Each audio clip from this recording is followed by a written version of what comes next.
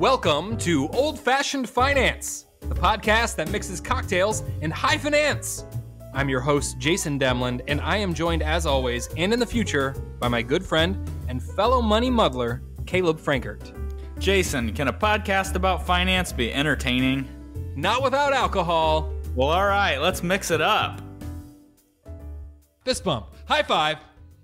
We're doing it again. It's another episode of the podcast show. Caleb, how have you been? pretty good. Pretty good. Pretty, pretty, pretty good. What's the news, man? What's new? Uh, well, we got a puppy dog over the weekend. That's Tell me new. about the puppy. My kids wanted a puppy. We thought we were going to get one, and it fell through. And I said, "All right, I'm going out and I'm going to get a puppy." And I did on Saturday morning. They love it, and I love it, and I forgot how hard puppies can be. what kind of puppy did you get? This is fun. A Yorkie Pomeranian mix, uh, also known as a Yorkie Pom or a Porky, which I think is funny. Porky is better. My wife had a Pomeranian for years. You remember Spike? Yeah, Spike? I remember Spike the Killer. Yes. Uh, he was tough, man. yes. You know, he definitely punched up a, a weight class or two. I tried. He had a lot of attitude. He was definitely a Napoleon type. So he's uh, this dog's got that in him, but he's also got Yorkie, so he's also very very affectionate.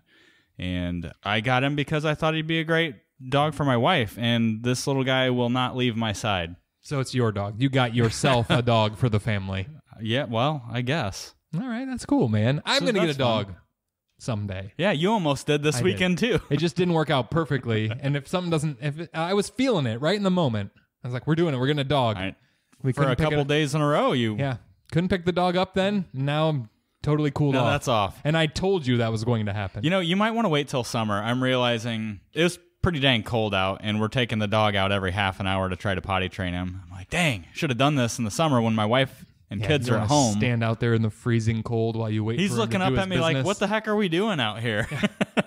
practicing? Yeah. practicing, boy. so it's fun. That's exciting. The kids are great. I mean, they're really excited. So they, I don't know. I felt like a hero for a weekend. That's awesome. We'll see if they like me this week. we're we're dog pro dog. Yeah, very On this very show. pro dog. They're And- good buddies. Uh, I'm very happy for you.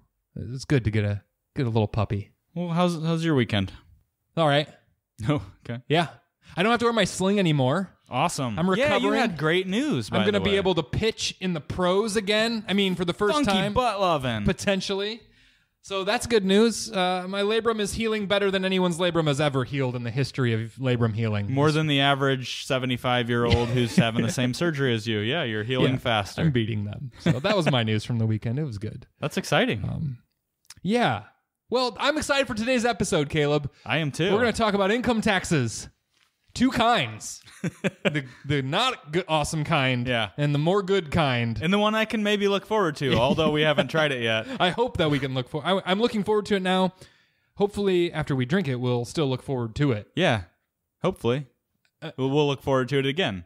More Uh, Yeah. than we look forward to tax season, because as much as tax strategy can be fun and all of this stuff is really super interesting, I always feel just kind of anxious the first few months of the year. It's because of the IRS. Yeah. A tax this getting nerdy about taxes, figuring out strategies is kind of kind of fun. Yeah. Kind of our jam. Yeah, tax avoidance is awesome. Yeah, now, I didn't say evasion. There's a big difference between avoidance and evasion. Yeah.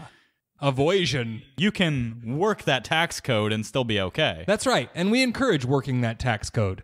But I think that it would be a lot more fun if there wasn't the IRS hanging over your head. well, we wouldn't have a tax code, which would be well, great. it just wouldn't be enforced, Well, right? I guess. Honor system. system. Yeah. Why not? Okay, I'm for it. Let's see how it works out. Eh, it's- It could work. I don't know.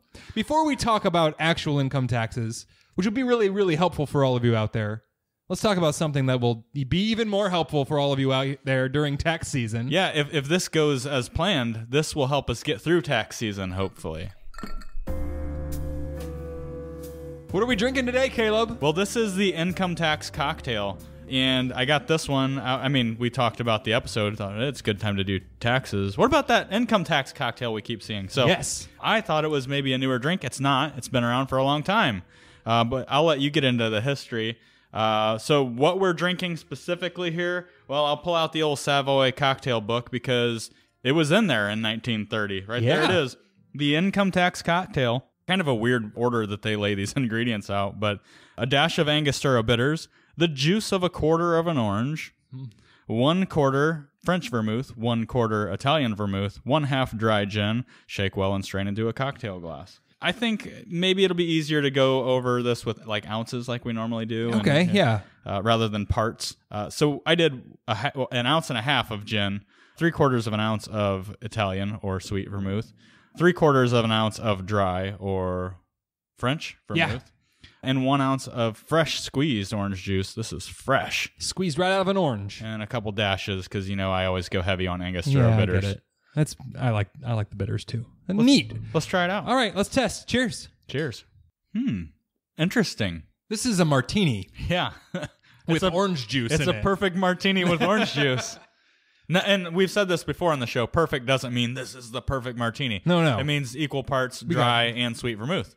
yeah. Uh, you're right. It's very martini-ish. but with that sweet vermouth orange and a juice. little orange juice. Mhm. Interesting. This is a Bronx cocktail, actually, with orange juice in it. well, tell me a little bit about the history of this drink, Jason. Consulting again, David Wondrich's Imbibe, the ultimate history of cocktails. Basically, is the Bronx cocktail, and but like other cocktails, people don't really know how the Bronx started. Mm-hmm. It just kind of came about. So Seems like a spinoff of a Manhattan. Remember the, yeah, the it's phase very where similar, everything and all those little boroughs were coming up with their own drink. And there's the Toronto, and there's probably the, the more Brooklyn. We did the Yeah. Brooklyn. Was there another one that we did? Well, we've done Manhattans. We've done a like lot of every those. other week. So You know what? I'm not going to apologize for it. the the Bronx took a long time to get popular, and I guess the Bronx did have orange juice in it. The Bronx had orange juice, okay. and that's why people hated it, and it didn't catch on. Orange juice was not acceptable mixer in cocktails. Lemon juice was. Yeah. Lime juice was. Yeah. But people weren't cool with orange juice. And and it's because it dilutes it even more than lime and lemon do. It it takes over. Yeah. And it makes it a lot weaker tasting because you you don't taste it as much. It's probably why the why- vodka drink the Yes. screwdriver is so popular. Like And you the can Harvey you, Wallbanger. yeah, you can taste no alcohol in those drinks. And Wondrich Wondrich kinds of cites that. He he there's a blistering article against it or something that was really famous where a lady said that the orange juice just was really bad. The pop a play. Oh, Zoe Akins in a 1913 play, Uh-huh. Papa, Papa. uh, really ribbed on it. The problem wasn't the gin or even the vermouth. It was, you guessed it, that darned orange juice. Hmm. Except she, This is a family show. she was a potty mouth about it. uh, so uh, Wondrich likes the Bronx with a fair amount of Florida sunshine in it, he says. And uh, the Bronx was gin, French vermouth, Italian vermouth, two dashes of orange bitters, bar spoonful of orange juice, and a squeeze of an orange peel. How is this different? We have a lot more orange juice in there. Okay. I think, right? Squeeze of a, a, bar spoon of orange juice. That's not much. No, it's that's like a splash, and he put a little more in it. But this is a third gin, a third vermouth, and a third vermouth. Are those our proportions, or would we be more ginny? We're real close. We're, we're a little bit. We're we're a half gin. Interesting. Yeah. Uh, he said that the original Bronx was made with Plymouth gin. But Okay. He doesn't say anything about the income tax cocktail. Is it possible that Harry Craddock just stole the income tax cocktail, or and Well- renamed the Bronx in his book? Uh, You know, I, I'm going to defer to David Wondrich in the history. Um, what I had read kind of said that the Bronx was a was a cocktail, a known commodity in the early 1900s, and I I don't know that orange juice was always in a Bronx cocktail. Based on what I read, I, I think Difford's guide is what I, I looked at, but they basically said there were a lot of variations of the Bronx, and one of them was adding orange juice, which became the income tax cocktail. Okay. So maybe they went retroactive and added orange juice to the regular Bronx. I don't I don't know. That could be. It really seems like it was a perfect martini. Yeah. Then somebody added some bitters. Basically Then somebody added some orange juice, This- and it the- turned into this. Yeah, the income tax cocktail is a variation of the Bronx. There were a lot of different variations. This one stuck uh, for whatever reason. You know, I don't hate orange juice and cocktails. I got to be honest. I don't hate it. It's definitely a different taste experience. I thought it was really good in uh, some of the bourbon-based cocktails that we tried. Orange goes really Um, well with bourbon. If, if you're a, a sweet tooth like I am, I, I think Yeah. that's a pretty good combination. This is a little different because we've got gin, and I have we you know we like you said we're used to mixing lime or lemon. Yeah. It's uh, weird. lemon overpowers, I think. You have to use very little when it's lemon. This orange juice you can taste the pininess of the gin coming through with the orange. That's dangerous because Mm-hmm. you get really close to the the toothpaste and orange juice little bit. taste. And uh, that's what I was really worried was going to happen and then it got a lot more pleasant as I continued drinking it. I think that the orange that I used, by the way, that I juiced. Didn't we talk about this? Did we not get regular oranges at the grocery store? This might be some kind of tangerine or something. Was it not a Valencia orange I don't know. for juicing? But I think that's half of the fun. Yeah. Using different oranges, like a blood orange might be really good in this. I don't know. I don't know. I it don't would be really muddy looking, but you know what? I, this isn't bad. I will finish this drink. If I were to drink this while doing my taxes, it would be a more pleasant experience. Yeah, I definitely agree this will improve the mood while doing income taxes. Let's let's kind of intro the tax part of the the finance. This is the work that tax code episode. Yeah. So let's I'm- get we're ready. say it a lot in this one. Remember, Everyone- folks, work that tax code. Be prepared to work that tax. So let's talk about it. It's tax time. Uh, you hear that, the, the you know the calendar turns and immediately go, oh, taxes. Why, Jason? I, I know you mentioned it earlier. Well, the IRS has something to do with it. Why do we hate taxes Yeah. so much? Uh, because only nerds love taxes. If you're Ned Flanders, it's January 1st, and you go, up, the first of the year, better get a head start on those taxes, Nettie. But uh, for the rest of us, we hate it because it means giving your money away by force. Nobody likes being bullied into giving away their money, and that's kind of what's happening. It's for the greater good. We live in a civilization, so we're pooling our resources to buy things that may or may not be necessary for our civilization. Yeah. I think that's a lot of why we don't like to do it. though. Or if you gave the the uh, IRS too much money throughout the year, it's a review. It's like it's like watching a tape of yourself getting beat up by that bully at school. Oh, here's where he see- turned oh, me man. upside down and shook out all of my lunch money. Yeah, look how much money I gave these people this year. You know how much Yeah. milk I could have bought if those bullies wouldn't have got me? All of it. All of the milk. I think the worry of screwing up is a lot of it too. There's a lot of pressure. You feel like if you make a mistake, you are going to go to jail. You're going to pay dearly Yeah. for that mistake. They have a lot of power. Yeah, Um, and and that usually means more taxes. Yeah. so leaving some of the commentary about the uh, morality of taxes aside. Oh. Taxation is theft. leaving some of that aside. This is why it's your responsibility to work the tax code. you have to work that You tax have to code. work that tax You code. need to get as much of your own money back as possible. Yeah, and we need to clarify tax avoidance is absolutely okay, and the IRS and our auditor will say tax avoidance is okay. It's not frowned upon. Tax evasion is a different story. Avoid all the taxes you can. Yes, do it legally. Yeah. If you are not paying taxes that you need to pay, you are doing the wrong thing. That's That- evasion. That is immoral. Even though you think taxation is immoral, so you're you're not doing an immoral thing, therefore it's moral. These are the laws of the land. yeah. Vote, voting matters. Elections have consequences. You solve it there. Look, you owe it to yourself to avoid as much as you can in taxes, and if at the end of the day you decide that you didn't give enough, Right. They take donations. Yeah, if you're worried about not paying your fair share, you can just give you money. can just give money to the And IRS's people don't, cause. They don't like act like they can do that. Yes, I don't give to charity. I give to the IRS because I like how they distribute my money. Go ahead and do that. But while the rest of us are avoiding as much taxes as we can, Yeah. that's that's what we're gonna do. The other thing is forced deadlines. You have to do this. Yeah, You get into the, you know, I feel like after the holidays, calendar turns, and now, oh no, taxes. I've got this deadline. And here in Ohio, it's just winter for the next few months. We don't have much Yeah, to look There's forward nothing to. else to do. Might as well do taxes. Yeah. So I think there's that deadline, that imposed deadline that just makes us all nervous. Like it's Yeah. it's hanging over our head all the time. I think a lot of it is it is if you. Caleb, have you ever read the tax code? like I know, Boy, have I.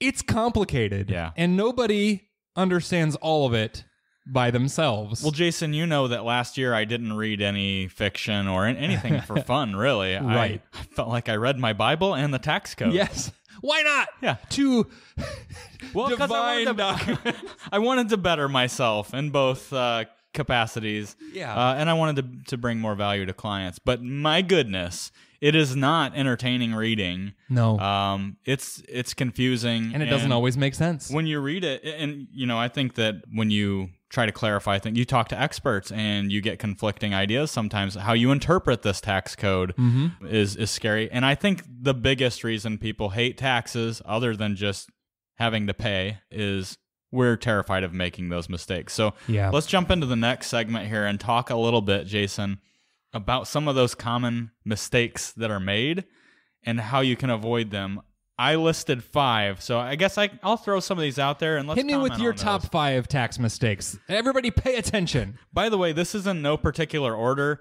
but some of the most common. And I looked at some websites, some different. You know, I looked at IRS, I looked at Motley Fool, a lot of different financial websites out there, and there are quite a few of these that were constant on the list. Yeah. there was one. It was like 29 common tax mistakes. That's too much. So we're gonna just. try There's to actually way more common tax there are. mistakes than that. But we're Well, gonna go through five. Before I jump into the five, though, some of them were really, really surprising. Very common on a lot of lists was misspelling your name. Yeah. misspelling your dependents' names or putting the wrong social security numbers. Yeah. I mean, Getting your personal information right is very important. it's like those standardized tests in school where the teacher's like, don't worry, if you get your name and birthday right, you automatically get 10 points. So you can't get a zero. right? and then you just whiff on that. But people mess up on that all the time. It's one Jathan of the most. Demlin. Yeah, it's one of the most common uh, mistakes. Just getting your information right, your basic information, not your tax information. Right. So, uh, I, I think the first one to look at here would be, and this is one we've talked about with our clients. We've talked about off record plenty of times. Incorrect filing statuses. Yeah. You know, there are there's a, a few different statuses that you can you can file single if Mm-hmm. you're single. If you're married, you have a couple of options. You can file joint, like most do. You can do married married filing separately. You can do head of household. And then the qualifying widower, widow or widower is, is another one of the filing statuses that we can use. But I see in this one a lot, not necessarily that you're filing wrong, because usually if you're using a, a, a tax preparer, they might run these scenarios a couple of different ways and Yeah. say, okay, hey, this year, I know last year we, we did married filing separately, but this year it makes more sense to, to file joint. The the call for that could be, well, you come out 50 bucks ahead this way versus this way. Yeah. Right? Jason, why is that dangerous? Why does that need a little bit more care and attention from a financial planning standpoint? Well, because filing your taxes, and I think we've said this before, when you are with a tax preparer and you're doing your taxes, you are looking at history. A mm-hmm. tax preparer is a great historian usually. They will look at all the stuff that happened and they will document it mm-hmm. and it'll be accurate. That's their whole that's their, their whole jam. The IRS wants to get their tax money, the tax preparer wants to make sure things are right. Yep. If you just look at it that way and just look at the way to file to reduce taxes right now in the moment, you will neglect all the things in the future, even in the immediate future for the upcoming year. So, married filing separately can ruin your in, in that tax year that you're doing the taxes for can ruin your options for IRA contributions. Yeah. You might not be able to make a deductible IRA contribution. You might not be qualified for a Roth IRA contribution. Yeah. You- well, let's let's look at an example of that, right? Let's say you have a married couple who are under the Roth IRA contrib- the income limits to contribute to an I- uh, Roth IRA, right? But for whatever reason, maybe there's a dependent status or something, right? You know, you look at second marriages and shared custody and things like that. That's where I see it a lot of times. Sure. You know, it might be, you know, I'm claiming these children this year, but next year, you know, somebody else is claiming those children, and that might affect my status. But like you said, you might, as a couple, be under that Roth contribution income limit. Right. But by filing married separate, Mm-hmm. y- you know, if you make more than ten thousand dollars, you're you're done. You can't make those Roth contributions. And I have Right. seen, unfortunately, where a client just did what they normally did. They made the Roth contributions because realize you don't have to. You you can do that and fail to report that to your tax person, and it doesn't change the numbers, Right. right? You did it. You just, if you get audited, you are in a lot of trouble. Yeah. Like you're going to have to pay penalties and you have to undo it. And it's going to be a headache. Yeah, so you got to make sure that these filing status, the, the status that you choose, also line up with your financial planning goals, which obviously IRA contributions and things like that are a, a huge part of that. And qualifying widow and widower, I think that's one that gets just kind of forgotten about a lot. Well, it's true. You should, You can file bad. like you're take still married yeah, for a take couple of advantage of the death of your spouse. But yeah, you But get if you you get that year and the next year. yeah, there's generally still income from that spouse. Yeah, right? So absolutely. there's a reason for that. That's the biggest uh, one that jumps out to me on filing statuses is you can really you can make a decision that looks good based on uh, deductions and all that kind of stuff, and maybe it is more beneficial by a few bucks here or there, but you could Yeah. be losing out big time on on your retirement plan. So another one I'm going to hit on, and we just talked about this with somebody out front. Missing documents or not presenting all of the documents when you go to file. Yeah. Obviously, this is a, is a big one, right? You're, well, your tax preparer is a historian. If you don't give them all the facts, they're not going to get it right. Right. And so this is really on you as the filer. Having a really good relationship with your tax preparer is really important here because they may know more. But Yeah. are they going to know that you took continuing education that might be available for the American Opportunity Credit? Probably not if you told them, And- unless and- you told them. Unless you right? tell, yeah, they're not going to know. Or did you go to school? Did you get a new mortgage? If you had a new kid, uh, those kinds of things, you need to make sure all of your information is update up to date, or your tax preparer. And most of tax preparers right now, until through April, they don't have a life. They Right. they are not a functioning human being anymore. They are all tax code all the time. And by the way, right after April fifteenth, they're not a human being, not not a reachable human being for a couple months They either. might be en- enjoying a few income tax Right, cocktails and- And, blowing off some steam. So it's really incumbent on you to get all this stuff together. And unfortunately, and, and personally, I've seen that where the taxpayer is just grinding out tax returns and they don't get all Yeah. of your information. And uh, we don't know the tax code, regular people. Uh, you and I, just Joe Public. So we just How go- can you work that tax code if you don't know that tax code? well, I know the tax code a lot better than the normal person, and we still it's still hard to communicate with a tax preparer to make sure they have all the documents that they need to get me all the deductions that I deserve, all the credits that I deserve, and to structure my filing in such a way that is most beneficial to me. Yeah, I think when it comes to documents, you don't want to file too early. Some people get out in front of it too early. Some people wait, wait uh, way too late. Right. And you might end up missing 1099s, or there's some 1099s out there. Maybe some are only available online and some are being mailed to you. Yep. Realize that you're not going to have everything mailed to you in a pretty package, and here's all you need to go to your tax preparer. It doesn't work that way. You need to have your W 2s, your 1099s, maybe there's K 1s. 1098s. Yeah, don't forget. what about interest from bank accounts? I know it doesn't sound like much, um, but you could be missing out there. What if you have a health savings account and you've got contribution uh, information? Maybe your employer made some matches. That's all information that, that your tax preparer is Yeah. going to need. IRA contributions. Maybe a building that you own burned down. Maybe uh, you got a big gift from someone. Maybe you won a car on a game show. There's a lot of tax maybe you documents had a should be debt getting. forgiven. There's a lot of things uh, that that really you can't you can't miss it, and your tax preparer at this time of the year certainly I, I it, they'd be hard pressed to sit down and ask you all these. Did you have any of this? Yeah. Did you have any of this? Nope. They get this bundle.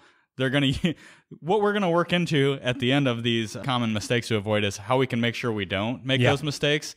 How to maybe find and work with a good tax preparer, and also yeah, you know, I know we're running a little short on time, but how you can be a good client for your tax preparer. So next, this one we really the next few we don't have to spend a lot of time on, but uh, incorrectly claiming deductions and adjustments, right? And you and I have seen this. We look at our clients' tax returns when they bring them in. um, standard versus itemized deductions. This has changed a lot over the last few years Yeah. with the Trump tax cuts. A lot of people that used to itemize are now filing standard. it, it, it's saved me a lot of time. all those missing documents that we just talked about, they don't matter if you're taking the standard deduction. Well, almost for the most part. documents. Well, those matter a lot. Never mind, they do time. still matter. Uh, I guess when we get to collecting receipts and that sort of thing and getting expenses, it won't matter. Well, what you need to make sure here is that you're not leaving money on the table, right? Itemizing is good if you've got a lot of true deductions, Right. But remember, the the, the standard deduction doubled, and, and that, that could change. 100 joint Yeah. for 2021. 12,550. Don't forget at age 65, your standard deduction goes up a little bit Cha-ching. too. Or if you're blind, a lot of Yeah. people don't know that. Right. 65 or blind, right? Yeah. Uh, who who would have known? Or you can the get tax both. code is if you're, big. 60, if you're 65 and blind, you can get both. But you know, you might be leaving money on the table. All, uh, there's also a part of it where you know if you're doing itemized because you're going to get hundred dollars more back that way.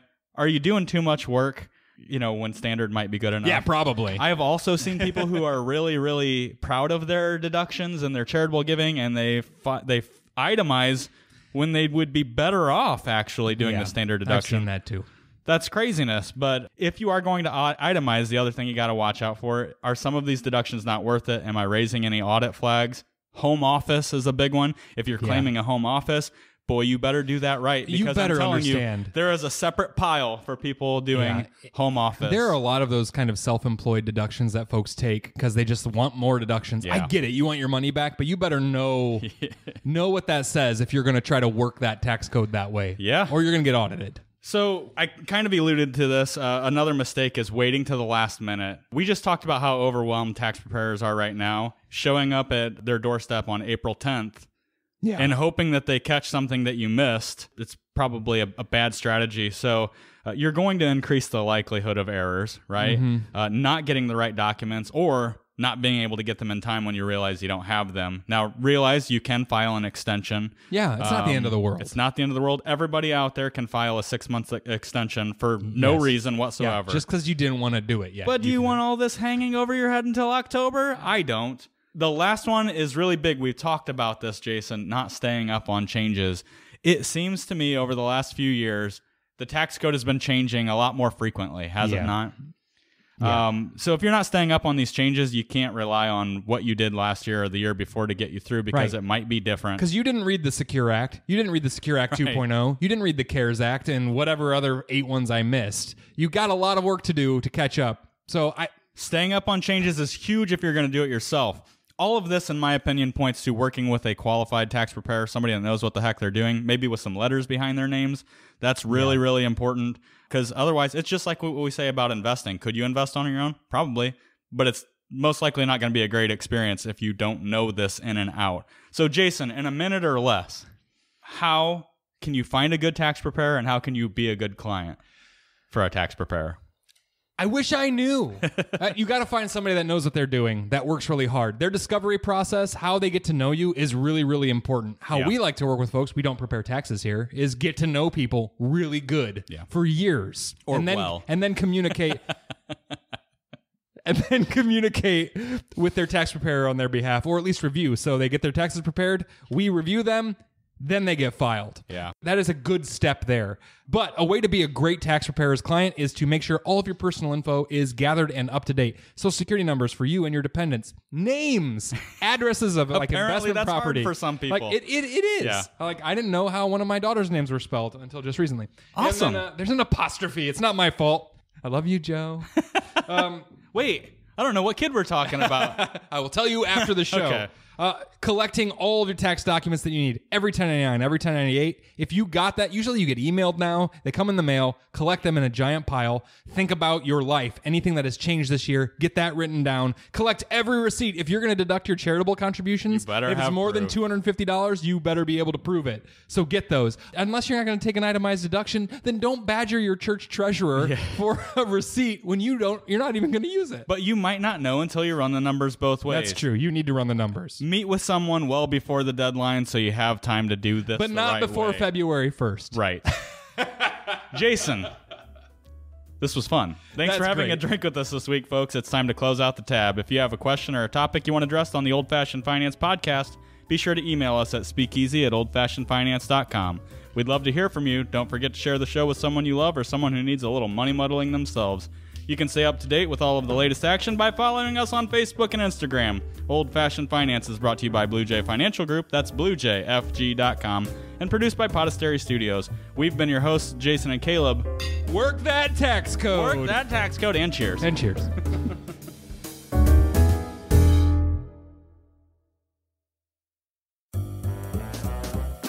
Blue Jay Financial Group, LLC, Blue Jay, is a registered investment advisor registered with the state of Ohio. Registration does not imply a certain level of skill or training. The presence of this advertisement on this podcast shall not be directly or indirectly interpreted as a solicitation of investment advisory services to persons of another jurisdiction unless otherwise permitted by statute. Follow up or individualized responses to consumers in a particular state by Blue Jay in the rendering of personalized investment advice for compensation shall not be made without first complying with jurisdiction requirements or pursuant to an applicable state exemption. All verbal and written content on this presentation is for information purposes only. Opinions expressed herein are solely those of Blue Jay, unless otherwise specifically cited. Material presented is believed to be from reliable sources, and no representations are made by our firm as to other parties' informational accuracy or completeness. All information or ideas provided should be discussed in detail with an advisor, accountant, or legal counsel prior to implementation.